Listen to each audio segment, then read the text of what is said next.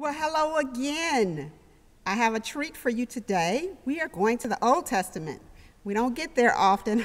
we often find ourselves in the New Testament, but today we're going to a, a, a book in the Bible that we rarely look at. First Kings, chapter 3, verses 16 through 28. Later, two women who were prostitutes came to the king and stood before him. The one woman said, Please, my lord, this woman and I live in the same house. And I gave birth while she was in the house. Then on the third day after I gave birth, this woman also gave birth. We were together. There was no one else with us in the house. Only the two of us were in the house. Then this woman's son died in the night because she lay on him. She got up in the middle of the night and took my son from beside me while your servant slept. She laid him at her breast and laid her dead son at my breast. When I rose in the morning to nurse my son, I saw that he was dead. But when I looked at him closely in the morning, clearly it was not the son I had born. But the other woman said, No, the living son is mine, and the dead son is yours. The first said, No, the dead son is yours, and the living son is mine. So they argued before the king. Then the king said, The one says, This is my son that is alive, and your son is dead. While the other says, Not so, your son is dead, and my son is the living one. So the king said, Bring me a sword. And they brought a sword before the king. The king said, Divide the living boy in two, then give half to the one and half to the other.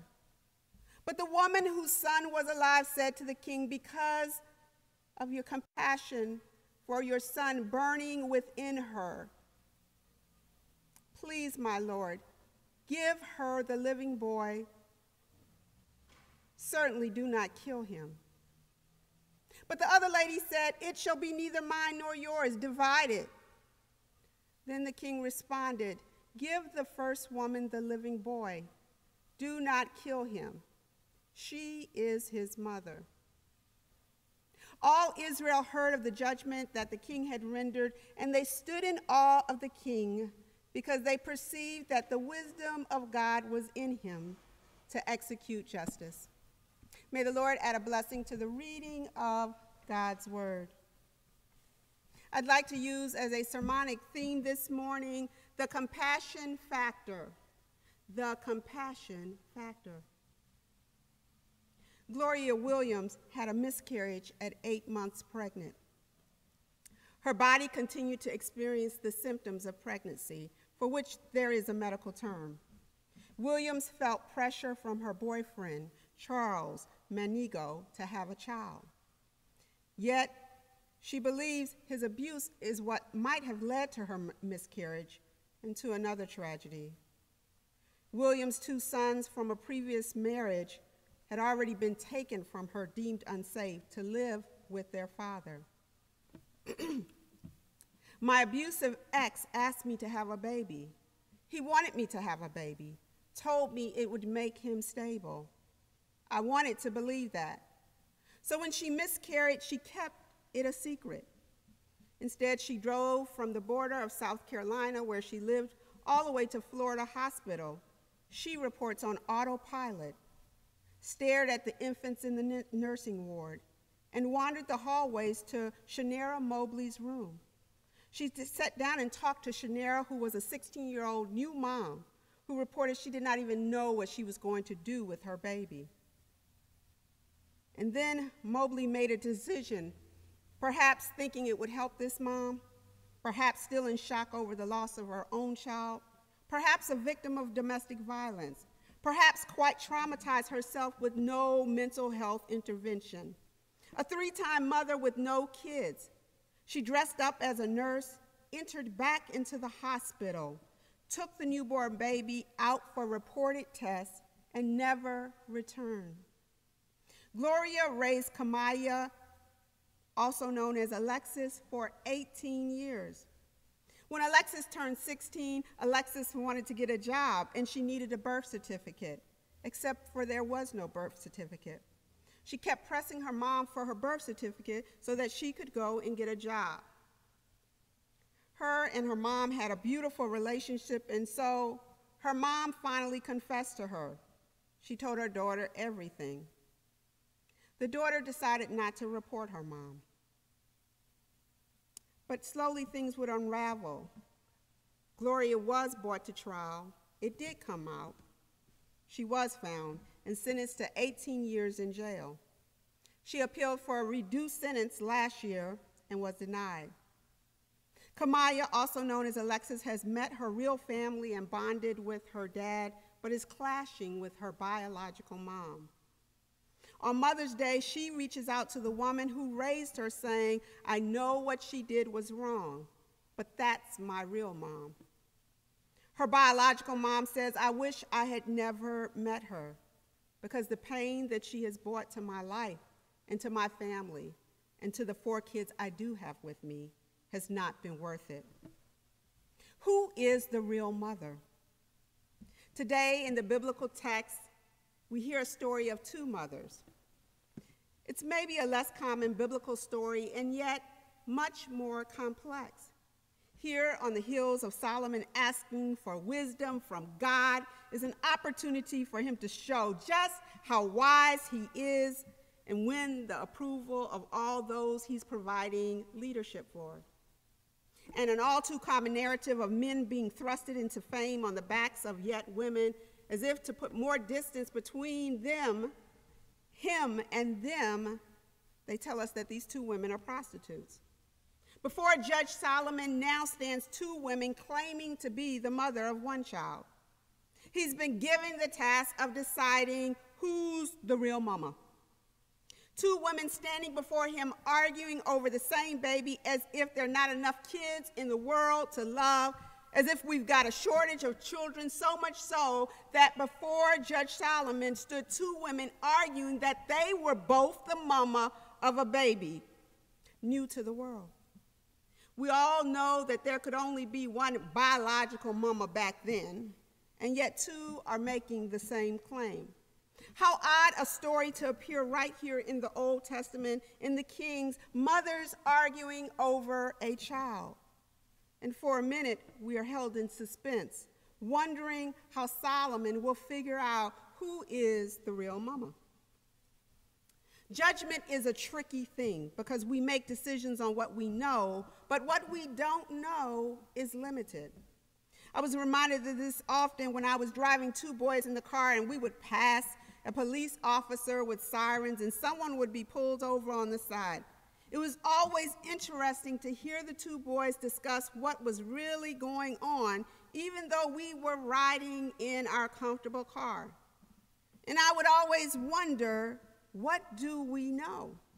There are all kinds of crooks and nannies and cracks and dark places unexposed. When others have been certain with limited knowledge, it seems a curse put on me to ponder what is it that we really know? What is it that we really know about COVID 19? What are they not telling us? What's the whole story? Because of the course, the story, and the news we are fed is not often everything. And so often we can jump to conclusions about people and places and things without a whole lot of knowledge. In fact, one boss told me, Charlene, the less people know, the more they talk. I don't know about if this is a universal truth, but at least over here in the churches I've served, I have found that to be true that the less people know, the more they talk, and the more judgment gets dispensed. And so I'm wondering now just how will Solomon judge this situation? Malcolm, Malcolm, Gladwell, in his book Talking to Strangers, mentions a conversation between then British Prime Minister and Adolf Hitler. Other leaders had talked with Hitler too when they had heard of rumors of what possibly he was up to. And so the British Prime Minister decides to have a conversation with Hitler. Here's the thing after talking to the prime minister, the prime minister comes to the conclusion that this is a good guy. He judges that he makes some promises to the prime minister, and the prime minister believes him. Other leaders, as well, that met with Hitler came to the same conclusion. But boy, were they shocked when Hitler did everything that he promised he wouldn't do. You see, judgment is hard. And Solomon at least gets that much so that God divvies out wisdom. And Solomon goes on to make a landmark Supreme Court decision in the case of the real mama versus the false mama. So let's start with what the text tells us. There are two women and two babies. There are two mothers when the story begins and two living baby. That's good. One kid for each mama. According to the first woman's story, she gave birth first, but the other lady was pregnant and gave birth three days later. And this lady rolled over on her baby and killed him in the night. Oh well. And having killed her baby, she decides to get up and takes her dead baby to the other mother and lays them there and picks up the living baby and takes the baby. The lady says, When I woke up, I saw that my son was dead. But upon further notice and inspection, I realized this wasn't my son at all. That low down heifer took my son as her own. Now, because she threw the ball, the other lady is swinging. She's defensive. And she swears that the story that the other lady is spitting is untrue and that her son is alive. And this lady has just fabricated one of the best lies I have ever heard. Is your head hurting? Don't let nobody tell you ever that the Bible isn't interesting. I read a lot of fiction, and this story is up there among incredible. So, who's the real mama? And just so you know, motherhood is about more than who delivers babies. But before I tell you what King Solomon says and does, what do you think? Who's the real mama? Well, you already know the real mama because I read the text to you just a few seconds ago. And I know who the real mama is because I read the story before you, or maybe I didn't, or I think I read it before you. This text rose to me this week, and really I thought it was a safe text. It was easy until I felt the Lord speaking to me in the middle of the week. And maybe God works differently for you, but when I'm getting sure of myself, God usually throws a curveball in the middle of the week to humble me, maybe to make me curious, maybe to keep me in prayer, maybe to hold me in relationship, in tension with the text a little bit longer. So I'm not an apostle, and I'm not a bishop, and I'm not a prophet or a king or a judge. And 15 years ago, I wasn't even a mother.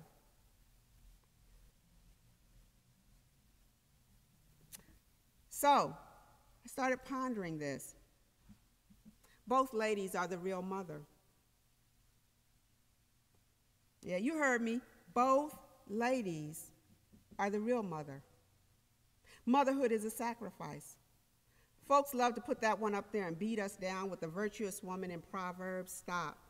But mothers, at least the ones I've met, are way more complicated and rich and full of color than the woman in Proverbs.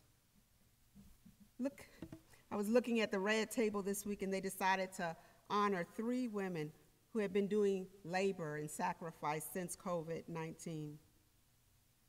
One of them was a nurse. We are nurses, but we are also doctors. One of them was a cafeteria worker. We are cafeteria workers trying to feed babies even when school is out. We are helpers. We are many things, but we are human. We are vulnerable. We are trying, like most, to do the best with what we got, but some of us don't have a lot to work with. Niecy Nash says, You have some people who make decisions in their brokenness, and it only hurts them. And there are other people who make decisions in their pain, and that ripple effect is far and wide. If you had a great mama, great. But not all humans have had great mamas. Some folks have had terrible mamas. And some have had their mamas ripped away too soon, and that hurts. And when you get all up in your mother's garden, well, there are all kinds of things growing and things threatening to take life, and that's for real. I imagine it's complicated, and that covers some of it, and that's, that's, that's for real. But it doesn't make our mother any less real, and that's why I say both of these ladies were real mamas, just because. Just because we're complicated, we're nuanced. For Alexis, aka Kamiyah, her real mom is the one who stole her from the hospital, probably still in pain herself, and raised her, not the lady that gave birth to her and has been missing her for all of 18 years. Just keep your finger on that, and let's see what Solomon has to say. Solomon lets the moms talk, and the more they talk, the more things don't get resolved. Each woman is holding fast to, I'm the real mama. Each is asserting that the living child is theirs, and no one claims the dead child. Think about that. They each make their case for why this child, this living child, is their child. And finally, the wisdom of God, like rainfall, comes down upon Solomon. Okay, since I cannot decide who is lying and who is telling the truth, I'm just going to cut this baby in half and give one part to you and one part to you. But it's a trick statement. So the lady whose baby was living said, Don't do that. Let the child live. But who is the mama whose baby is living? The second lady said, Okay, I'll take my half and give her her half. And that's how Solomon feels he came to know who the real mama was. But even in that, I'm not persuaded with Solomon's wisdom. But this is a sermon, so I ain't going down that road today. Here is the good news that falls from God's lip to Solomon, to mine, to yours, because of the compassion in her for her son. She would rather give him up than to see him die. Compassion is a powerful tool in a mother's life, but compassion is a powerful tool in the believer's life. When the love that burns inside of us not only allows us to walk towards others with respect, but when that same love even necessitates letting go of someone that they may live. It's Mother's Day. And this is a beautiful and a hard day, but this text reminds us that we all have stories that sometimes reek with horror. The gift we bring as mothers and daddies and lovers and brothers and sisters and cousins and friends and humans, the real gift we offer, especially to those that cry the loudest and make bad choices, is the gift of compassion. We can listen when others jump to judgment and conclusion. We can listen when others are riddled with fear and anger and hate and bigotry. We can hear the spirit behind what others share. When we listen to people's stories, the whole story, it makes a difference. Last year, a few of us from church went to a violence conference, except for they called it a cafe. I was wondering how this was going to roll out, and I was on the planning team, and we were trying to get people to come from Indiana and Illinois. We knew that the people gathered in Indiana might be of a slightly different persuasion. We wondered how to have this conversation. And then someone introduced to us what is called cafe conversation. It's when you open a conversation not stating what your side is, but you begin to talk about your stories. As I sat around the table with strangers, as Malcolm Gladwell would say, talking to strangers, as I sat around talking to strangers, we began to share our stories of violence and our stories with guns. It was a whole different flavor. Nobody was trying to argue their position, but through hearing people's stories, a compassion emerged for each other. And then we had a real discussion and we were all on the same side. I believe there's more to these women's stories. Often there's more to mothers' stories. We try to oversimplify women and people, but we're complicated. Sometimes I ask a person, Why did you do that? And they'll be like, I don't know. And they're telling the truth. They don't. we are complicated. But once we can hear each other's stories, there lies a door of compassion. And when we hear enough stories, we begin to paint a landscape. In a world divided and fearful and worried, in a world of pandemics, in a world of so many deaths each day, in a world where the economy may collapse, in a world where jobs are crumbling, in a world where some people don't know how they're going to make it, in a world of loss, in everything else under the sun, let us hear people's stories. Let us hear, like the little boy that sat there with the marshmallows and his parents told him not to eat. Let us hear, let us listen, let us pray, let us roll up our sleeves, let us find a way to help. But let us not operate out of fear. Let us be overwhelmed with compassion, like this woman burning inside of us, the real mama, because compassion for each other makes a difference. Happy Mother's Day. Amen.